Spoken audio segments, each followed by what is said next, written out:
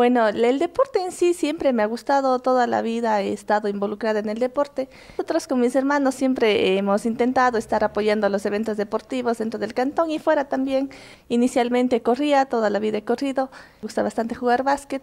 Bueno, a partir de una lesión me recomendaron aprender eh, ciclismo y hace dos, casi ya dos años aprendí a nadar, entonces la combinación de las tres cosas que me gustan y aprendí eh, dieron como resultado que entre al mundo del triatlón me llamó bastante la atención y me puse como reto, yo dije, yo voy a hacer un Ironman. Y eso consiste en 1900 metros nadando, 90 eh, kilómetros en bici y 21 corriendo.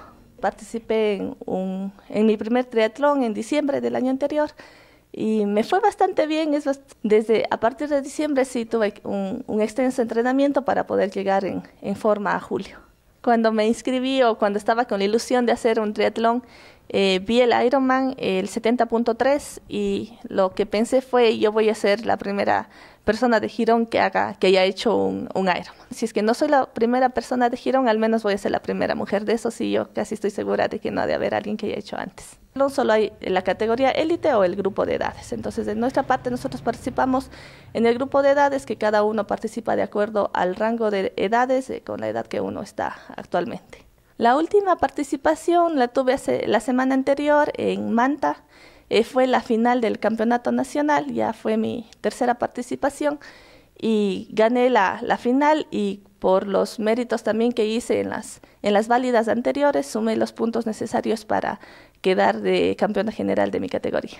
Entonces ahorita yo tengo ganado ya mi cupo para el Mundial de Australia 2025. Ahora, ¿qué vamos a hacer todavía? Eh, nos falta casi un año hay que preparar bien, hay que ver qué es lo que se viene, porque si bien es se, se vendrá un entrenamiento mucho más extenso, también se vendrán unos gastos bastante altos y hay que ver cómo, cómo podemos hacer con eso. Yo pienso y mi profesor piensa que podemos mejorar un poco más. También es un poquito complejo porque tengo que entrenar dos veces al día y me toca organizar bastante mis horarios, pero estoy disfrutando de, de esto. En, yo inicio mi día, en el mejor de los casos, a las 4 y 45, porque a las 5 salgo a correr o subo al rodillo. Después desayuno y voy al, a la oficina. Después de la oficina, después de las 6 de la tarde, me dirijo a la universidad y hago mi hora de natación. Todavía no he decidido si voy a ir o no porque el mayor factor es lo económico tengo que ver, bien cómo voy a hacer con eso. Si quisiera ir, me ilusiona mucho ir, yo podría entrenar todo lo que pueda para llegar a mejor forma, en la mejor forma posible, pero el tema de los recursos sí está todavía en veremos, entonces vamos a ver qué es lo que pasa. Prácticamente todo lo que he invertido eh, hasta ahora, todo ha sido eh, de, mi, de mi aporte por lo que estoy practicando.